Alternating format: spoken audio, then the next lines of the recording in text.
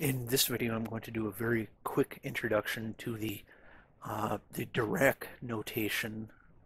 So that was invented by Paul Dirac notation, and it's essentially just uh, a way of, of showing uh, linear algebra.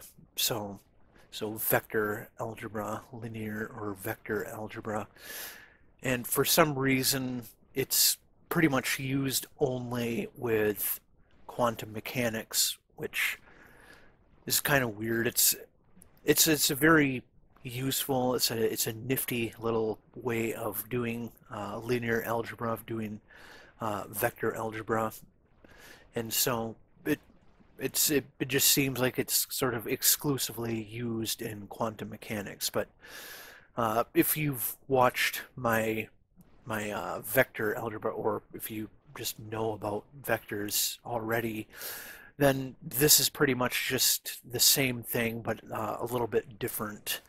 Uh, but so we'll start with um, the terminology. So this is what is uh, so it's called Dirac notation, sometimes called called bra bracket notation. So bracket, it's it's supposed to look like bracket. So uh, a bra vector is one where you write it like this with the uh, the angled uh, bracket here pointing to the left and then the ket is in the opposite direction. And this tells you something about these different uh, vectors here. Uh, and essentially what they tell you is well the first thing you could maybe say is that this tells you that it's a row vector. So the components for this would be something like A1, A2, A3, dot, dot, dot, A, N. And this one is a column vector, so it would be something like A1, A2, A3, dot, dot, dot, A, N and that is now in a column vector. And the difference between these two is uh, is mostly uh, if we are using complex numbers. So complex numbers which use uh, imaginary numbers. So complex equal uh, real plus imaginary. Uh, imaginary and so an, an imaginary number uh, you may have heard is is the square root of negative 1, which is impossible. You can't take a square root uh, of a negative like this, and it's often de denoted as i. I think uh, I think elect uh, electrical engineers uh, sometimes use J for it, but in physics, uh, you will mostly see it written as I. And the fact that it is the square root of negative 1, uh, it's so conceptually that's not really that important, uh, except for the fact that uh, if you have I squared, then that gives you negative 1. Uh, so you're just squaring this, which uh, just gets rid of the square root, and that gives you negative 1. So multiplying two, uh, two i's together gives you negative 1. Uh, and then if you if you had uh, if you had uh, say i cubed, that would give you negative i 1 uh, which you could just say is negative i. And so there, there's kind of a, it, it kind of oscillates between giving you negative 1 and negative i. Uh, then if you have i4, that gives you uh, negative, negative 1 again. Uh, and if you have i to the fifth, so that's uh, negative 1 and then uh, times another i, so that's a negative i. So it just kind of keeps going back and forth like that. And so that when you are actually doing sort of uh, uh, sort of elementary algebra with using i's, then that is uh, how those are used. Uh, the way you will often see i is uh, is you will see it as the exponent uh, in in using the constant e like this. Uh, so i times uh, your variable, and this is what is called the the Euler formula. So this uh, I'm not going to prove it here, but uh, you can find proofs for this uh, is equal to cosine of x plus i times the sine of x. Uh, and you may have even heard of the Euler identity, which is e to the i pi equals negative 1. Uh, and so this just comes right from this. So if you put pi in for x, uh, then your trig identities will come out to be equal to negative 1. And that's how you get your Euler identity from your Euler formula. Um, and so uh, another, well, I guess we can move down here to what I have prepared here. So the uh, complex numbers can be written like this, like it's a unit circle. And so uh, when you when you add, uh, so if you have just say one, for instance, as a real number, then you are right here. And then if you add, uh, then if you add i uh, times some number, then you will move up this way. Uh, you will move up this way um, according to that number, or if it's if it's uh, negative some number, then it will move down this way. Uh, but you can also see how this works with our Euler formula here. Uh, that um, we, if we have a vector pointing in this direction, uh, then then we can, uh, uh, which is the e to the i, uh, when they're using psi here. Uh, so that's what this vector is. And then the components of the vector are the cosine, which is the horizontal, and then the i sine, which is the, the vertical. And you can see that the vertical is telling you uh, how it's going into the complex plane here. So that's what it's called when you move off of the the uh, real number line here into the complex is that we're going into the complex plane and sine since it's multiplied by i, is the one that's telling us how far we are in the complex plane here.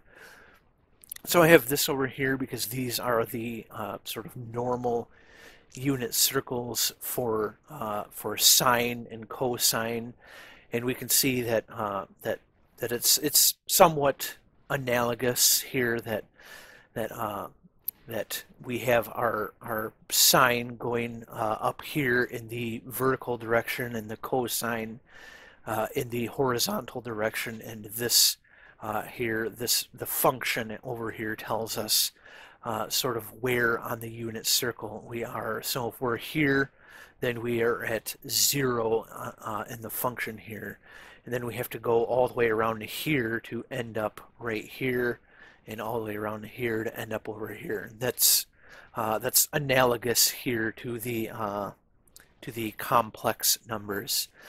And so another thing in with complex numbers is what's called the complex conjugate, which uh, I already kind of alluded to here. And that is this. So we can have a complex number where it's x plus the complex number or x minus the complex number. Then they are sort of mirroring across the real number line from each other like this. And you can see that uh, that they, they have the z here with that line over it. So you will often see the complex conjugate. Uh, so if z is our uh, is our complex number, the complex conjugate you'll often see either written with a line over it or with uh, a little asterisk by it, those can both denote that that is the complex conjugate. And what happens with the complex conjugate is if you take the complex number and multiply it by the complex conjugate, then you get, uh, so you have your x plus i, y, and then x minus i, y. I'm not going to go through, you. I mean, you FOIL this out. So first outside, inside, last. Uh, I'm not going to do that, but I'll show you uh, you end up with x squared plus y squared. And if you uh, if if you remember your Pythagorean theorem, you can think of this as essentially being z squared equals x squared plus y squared, and that is just the Pythagorean theorem. Uh, so if we were using only real numbers, this would be how you write it, but when you're using complex numbers, you have to also take into account the fact that this one is the complex conjugate, so it's not as uh, it's not as straightforward as if you were using the real numbers, but you essentially get the same sort of result here, is that it's uh, sort of the Pythagorean theorem. And so uh, going back to what I was talking about before, uh, that's what, so the, um, the row vector is the complex conjugate of the ket vector. The bra vector is the complex conjugate of the ket vector. Uh, and so if, if we if we actually wanted to show this how it should be, we would have these uh, this way, then we would put little asterisks by all of these, uh, telling us that these are complex conjugates. Uh, and so, for instance, uh, well, I'll use a smaller vector here. So maybe we had a1 plus ib1 and a2 plus ib2 as our our ket vector, then the row vector would be a1 minus ib1 and a2 minus ib2 and that would be our row vector so you can see these are complex conjugates of this. And if we were to multiply these together uh, we would end up getting a uh, well it would be a complex number but it would be a scalar value because this is uh, this is pretty much the uh, dot product. And what we would have is we'd have, uh, we'd have, uh, so I'm just going to go back to this notation here so that I don't have to write out all of these. But we would have our A, our A star 1, A1, uh, plus our, our A star 2 times A2. Uh, like I said, I'm using this notation up here. I'm uh, sort of collapsing these down into just a single a single letter here. Uh, so uh, maybe I could, just to make that clearer, uh, I will use a different letter for this. Um, and so maybe we could call we could call one of these uh, we could call one of these uh, uh, we'll call it just S I guess. so that would be S1 S2, S1 star, S2 star. And so it would just be uh, S1 star times S1 plus S2 star uh, S2, and that will equal some complex number here. And so that is um, how you multiply uh, how you multiply bras with kets, and I will get into uh, in the future how you uh, multiply kets with kets and how you multiply bras with bras and uh, things like that. But when we have this, uh, when we multiply like this, the bra by the ket, the row by the column, uh, we can write it. Uh, so we can write it like, like so we could say well, I'll go back to my S notation here. We'll call this S and then S here. And this is the same as multiplying the uh, complex conjugate of S times S. Uh, and so we have this. Um, and if we are multiplying uh, two different things, so maybe we have uh, we have A times B. Uh, so these are two different vectors, but we are taking the complex conjugate of the a vector and multiplying it by the b vector.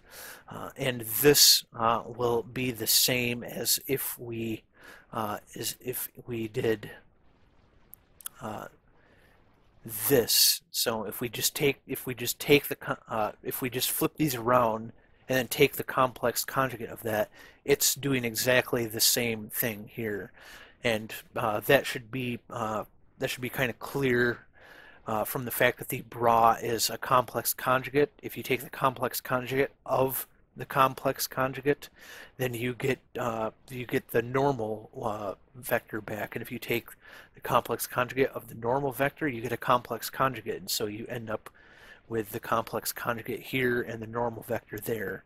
And so this is uh, the identity that we can use for that.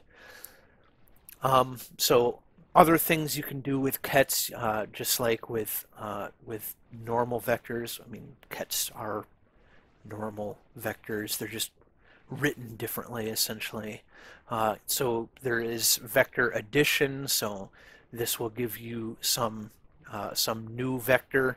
Uh, we could write this as a1, a2, a3 if we have a three-dimensional vector uh, plus b1, b2, b3, uh, and that will give us a1 plus b1, a2 plus b2, a3 plus b3 uh, as a vector, and then we could just call that c1, c2, c3. So vector addition still applies here.